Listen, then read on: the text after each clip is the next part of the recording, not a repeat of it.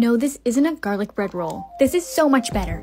It is a butter chicken filled bun. Can you tell I'm really excited about this recipe today? This is everything I could have imagined and more. Let's do it. I've been dreaming about this bun forever. I don't know why it took me so long to make it.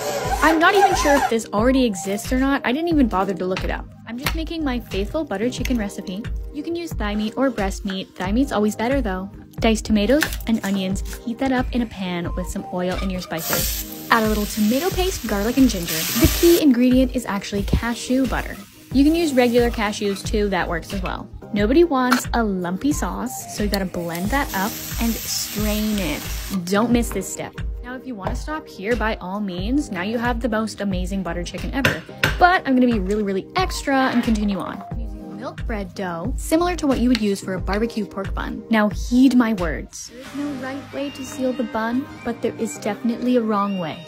Don't let the sauce get on the edges or it will not close and you have to throw it away. Egg wash. Bake at 350 for 25 minutes. Slathered in garlic butter and that's it. But just to clarify,